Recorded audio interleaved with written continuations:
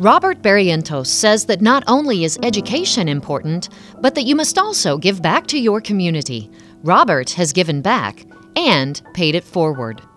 Robert was born in 1953 in Sterling, Kansas, to a single mother, Frances Barrientos. Frances's mother died in the late 1930s, so at the age of 15, Frances quit school to help her aunt and grandmother raise her 11 brothers and sisters. At the age of two, Robert went to live with his great grandmother. He stayed with her until she died in 1963. When Robert started at North School in Lyons, Kansas in 1957, the school was still segregated with only black and Mexican children attending. Because Spanish was his first language, he was held back in first grade as he had problems with English grammar and vocabulary.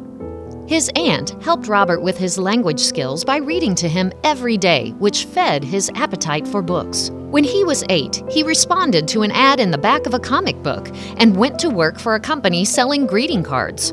By age 10, the company promoted him to selling fireworks. By the time he was 15, he ran three fireworks stands, which gave him valuable lessons in finance and business. Throughout high school, he was a page for Senator Jansen in the Kansas legislature. He got a taste of national politics and worked to help pass the 26th Amendment that provided 18 to 20 year olds the right to vote. He graduated from high school in 1972 and attended his first year of college at Hutchinson Community Junior College. Robert then transferred to Newman University in Wichita.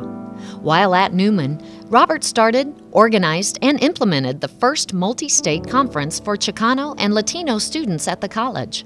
He graduated with honors in 1977 with a degree in history. In 1973, Robert wrote a grant and co founded Service Education and Retraining Jobs for Progress, which provides employment and training services.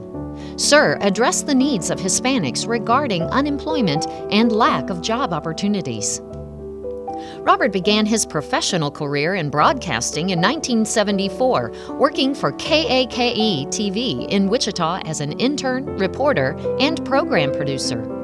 He eventually became the Director of Community Affairs for the station.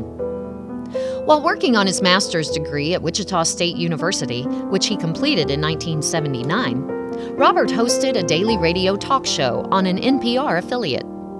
In 1980, he became the CEO and general manager of radio station KTEP FM in El Paso. He completed the Harvard University Executive Management and Business Program in 1981. After moving to Kansas City, Robert was a member of the Hispanic Chamber of Commerce Greater Kansas City Board of Directors and the co founder and first chairman of the Greater Kansas City Hispanic Collaborative. In 2004, Robert started the Kansas City BizFest, which is a four day youth development entrepreneur workshop and scholarship competition for high school students. The majority of KC BizFest participants come from the Latino community. BizFest focuses on helping students turn hobbies and skills into profit making ventures by establishing entrepreneurial and leadership goals creating plans for business and life, and becoming effective leaders and team players. From 2004 through 2016, Robert, with the help of Dr. Gene Johnson, directed and developed Pathway to the Future, which assisted children of foreign born parents. The program outcomes were remarkable, with 100% of program participants enrolling in college and with 68% of the students completing college within five years. Robert served in the Kansas City Mayor's New Tools Task Force and numerous boards and committees for the Kansas City School District. He was awarded the Community Hero Award by the Bank of America in 2005, recognizing him for his community involvement.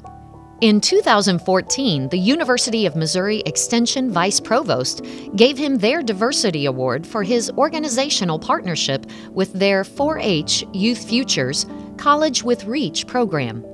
The words energetic, creative, innovative, passionate, visionary, and entrepreneurial spirit have been used to describe Robert Barrientos. These attributes have been key throughout his life. He is a pioneer.